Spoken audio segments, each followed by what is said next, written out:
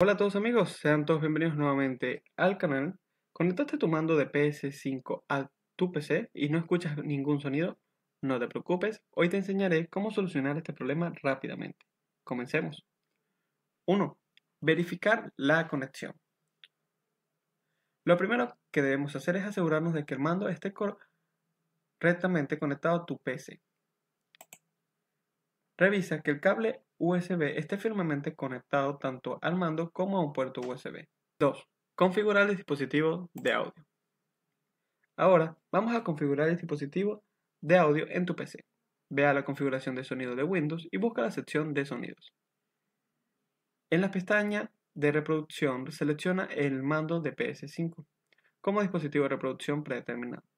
Haz clic derecho sobre él y selecciona configurar como predeterminado. 3. Instalar un programa de terceros. Si los pasos anteriores no funcionan, es posible que necesites un programa de terceros como DS4 Windows. Este programa te permite personalizar la configuración de tu mando de PS5 en PC.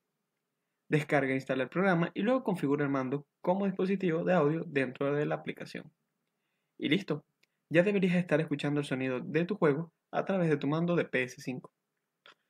Si aún tienes problemas, déjame un comentario y trataré de ayudarte. Suscríbete a mi canal para más tutoriales y no olvides darle like a este video. Hasta la próxima.